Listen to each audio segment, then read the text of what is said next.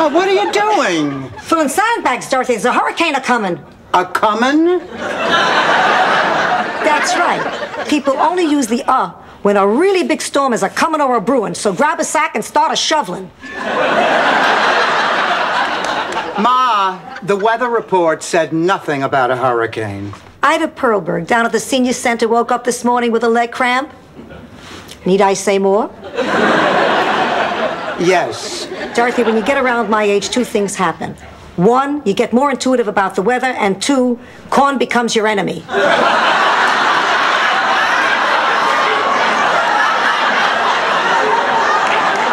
Ma, even if there is a hurricane a coming, Don't patronize me. I'm not patronizing you. I'm a mocking you. Look, Ma, if there is a hurricane coming, it's not going to get here for a while. So come on, sit down and relax. Okay. I'm glad we have this quiet time before the storm hits. Because there's something I'd like to tell you. What, Ma? I always thought of us as the Gabors. Well, I'm glad we had this little chat. No. Hear me out.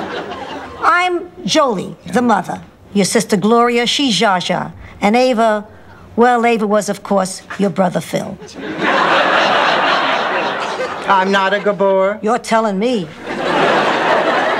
Listen, big news. Zsa Zsa's coming to town. Gloria is coming here. I wish I knew why you two didn't get along. I just don't understand it. For some reason, you've always been jealous of my good daughter.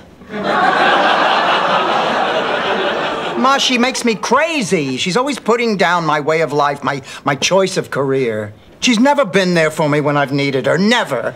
And all she ever talks about is how much money she has. Dorothy, there's upsetting news. She's broke. She invested all her money in junk bonds, and now she's broke. She has no money? Not a dime. Yes!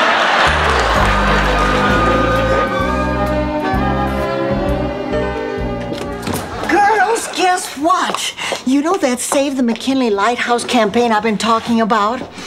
Mm, no. Oh, sure you do. I've told you about it 200 times. Mm, no.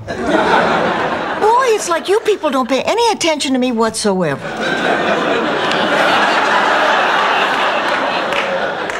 Hey, when did you sneak in? Listen, I just got the television station to give me eight hours of airtime for the telethon. Rose, that's wonderful. The only thing is, there are so many things to get organized. I'm going to have to get somebody to help me do this. Well, you could sign me up. I would love to help. You? Oh, well, you'd turn the telethon into a disgusting manhunt. A disgusting manhunt. What a great idea! Oh, see, we'll all get dressed in little safari outfits, and we'll have the men in cages. Then we'll let them out, and they'll all run around in loincloths. and every man who gets caught will donate $50, and then we'll get to take them home with us.